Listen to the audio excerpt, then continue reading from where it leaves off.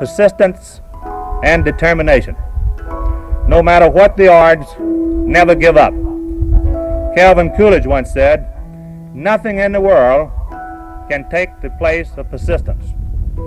Talent will not. Nothing is more common than an unsuccessful man with talent. Genius will not.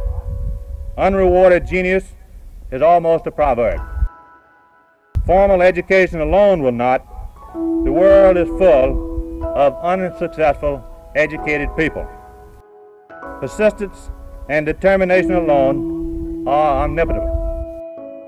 There are three points I would like to pass on to you. First, when you are dealing with people, every man must be considered as an individual. I think that you are fortunate in having had the opportunity to go here to Auburn where kindness and courtesy is a way of life because certainly this will help you in the future when you have to deal with people in various organizations. Next in exercising leadership, you must make the people feel that what you're doing and what they're doing is important. Because unless they feel that they are, their work is important, you can be assured that they will put no effort worthwhile into it.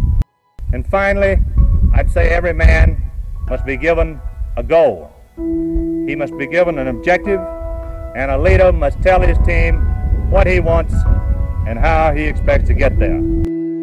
So, in summary, you can well provide the balance of leadership which our great country will sorely need as events catapult us towards the 21st century. You, as I said, are our country's most valuable resource. You are facing opportunities and challenges and difficulties that are unprecedented in history. But as you view these difficulties, just remember that the opportunities and rewards are unlimited. Also remember that there's not a country in the world that wouldn't gladly accept our problems if at the same time they could acquire our resources and our way of life. And remember also that the world does not owe you a living.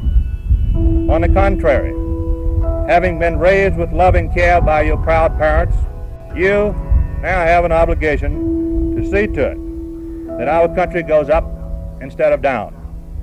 This demands knowledge, hard work, and above all, the will to win.